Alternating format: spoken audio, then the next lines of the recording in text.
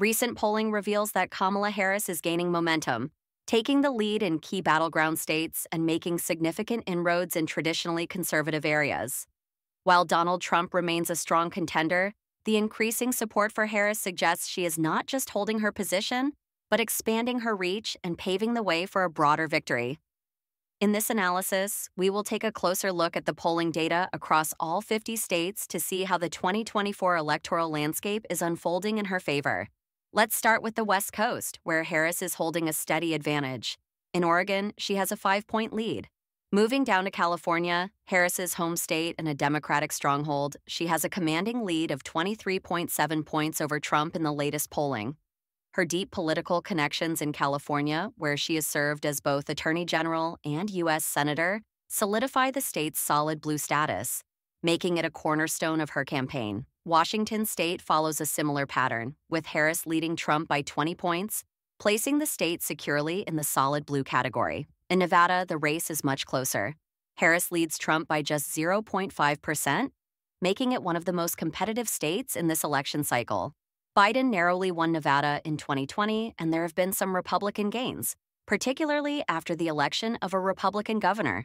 However, despite these developments, Nevada is expected to lean Democratic as of today. Now, let's continue with Arizona, a state that stands out as a major battleground. Despite Biden's win here in 2020, current polls show Trump leading Harris by 1.5%. Moving over to New Mexico, the situation looks more favorable for Harris.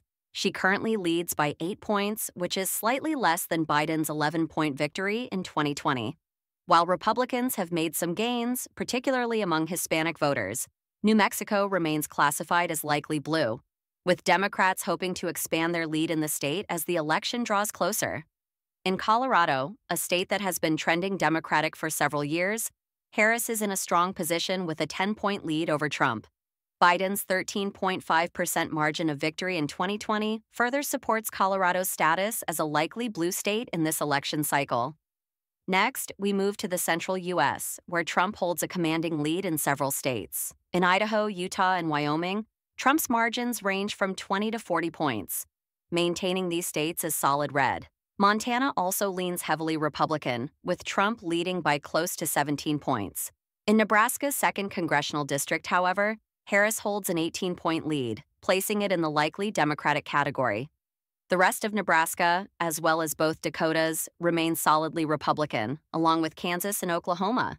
Trump currently leads by 6.6%, down from his nine point victory in 2020. Although Harris's team has made Texas a focal point, the state is still classified as lean red, though Democrats hope to capitalize on changing demographics to make gains here in future elections.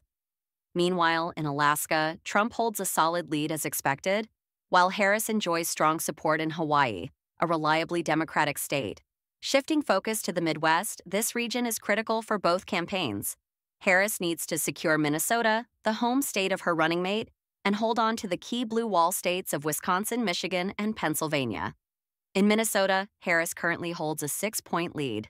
In Iowa, Trump is favored to win, continuing his trend from 2016 and 2020, where he won by 9 and 8 points, respectively. Limited polling data between Harris and Trump places Iowa in the lean red category, leaving room for potential surprises as the campaign progresses. In Illinois, Harris is comfortably ahead of Trump by 18 points, according to the most recent polls, classifying the state as solid blue. Indiana, on the other hand, is expected to heavily favor Trump, with a likely double digit lead as it has in past elections.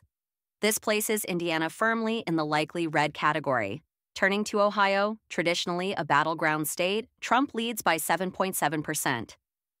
Ohio and Iowa both shifted back to the Republican column after Trump's significant victories in 2016, and the re election of Republican governors in both states in 2022 further solidifies their lean red status.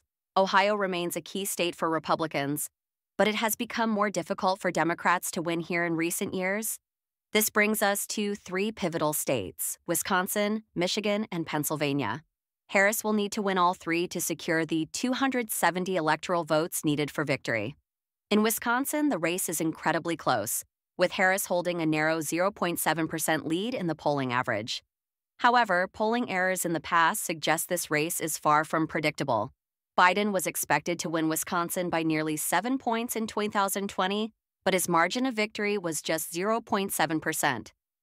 As a result, Wisconsin remains a true toss up, leaning slightly toward Harris but classified as a tilt state.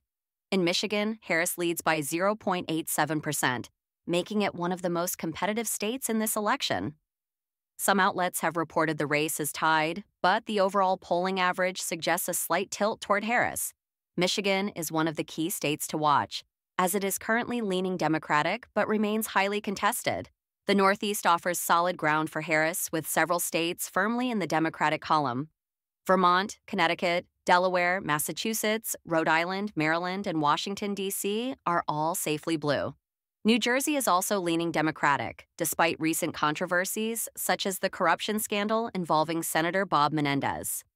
In New York, Harris holds a 14 point lead over Trump, a noticeable drop from Biden's 23 point margin in 2020. If the margin falls below 15%, it would be the narrowest Democratic win in New York since 1988. For now, New York remains solid blue, but the shrinking gap could be a sign of vulnerability in future elections. New Hampshire is considered lean blue, with Harris holding a 6.7% lead in recent polls. Meanwhile, Maine presents a more nuanced picture. While Harris leads by 17 points statewide, the 2nd District, where Trump performed well in 2016 and 2020, continues to lean red. Maine's electoral votes are divided, making it a state where both campaigns are paying close attention. In the Southeast, Trump maintains strong support across many states. Missouri, Arkansas, Louisiana, Mississippi, and Alabama are all solidly red, with Trump leading by comfortable margins. In Tennessee, Trump leads by 26 points, and similar double digit leads are expected in Kentucky and West Virginia. These states are key to Trump's solid Republican base. However, South Carolina offers a more competitive race than expected. The only poll conducted between Harris and Trump shows Trump leading by 10 points, a narrower margin than usual for this deeply red state. This suggests that Harris may be making inroads even in traditionally conservative strongholds. In North Carolina, Trump has a narrow lead of less than 1%, keeping the state classified as a tilt Republican. Harris faces a significant challenge here, as Democrats have only won North Carolina once since 1976. But she remains committed to flipping the state. Georgia, with its 16 electoral votes, is another critical battleground. Trump leads by an average of 1%, making it a true toss up. Recent polls have shown the race tied, further complicating the overall trend. If Trump wins Georgia, it strengthens his path to victory, especially if he can also win Arizona. Georgia is currently classified as tilt red. Florida has shifted into the Republican column in recent years, with Trump winning the state by three points in 2020 and Governor Ron DeSantis winning re election by 20 points in 2022. Trump currently leads by just under five points, placing Florida in the lean red category. However, Harris has been performing better than Biden here, leaving room for potential shifts as Election Day approaches. Now, we turn to the final two states, Virginia and Pennsylvania. Virginia has been a stronghold for Democrats in recent cycles, and Harris currently holds an eight point lead. With the state's history of supporting Democrats in recent elections and her current lead, Virginia is firmly in the lean blue category, it is no longer considered a battleground, though Republicans will still attempt to make gains. Pennsylvania, with its 19 electoral votes, is one of the most crucial states in this election. Harris leads by 0.7%, but this is far from a secure lead. If Trump wins Pennsylvania, it could dramatically alter Harris's path to victory, even if she wins states like Arizona and Nevada. Pennsylvania remains classified as a blue tilt state for now, but it is one of the most closely watched races in the country. In conclusion, current projections show Kamala Harris leading the race for the 2024 presidency with strong momentum in key battleground states and continued gains in areas traditionally held by Republicans. However, with many states still tightly contested, Trump has a clear opportunity to reverse this momentum in the final weeks of the campaign. The battle for the presidency is far from over, Finally, let's briefly explain the map's colors. Safe states are those where a candidate is projected to win by 15 points or more. Likely states are those with a lead of 8 to 15 points. Lean states have a margin of 3 to 8 points, and tilt states represent the closest races with a margin of less than 3 points. These colors help us visualize the election landscape, providing a clearer picture of where the candidates stand and which states will be the focus in the final weeks. Thank you for tuning in. Don't forget to like, comment, and subscribe for the latest updates as we get closer to Election Day.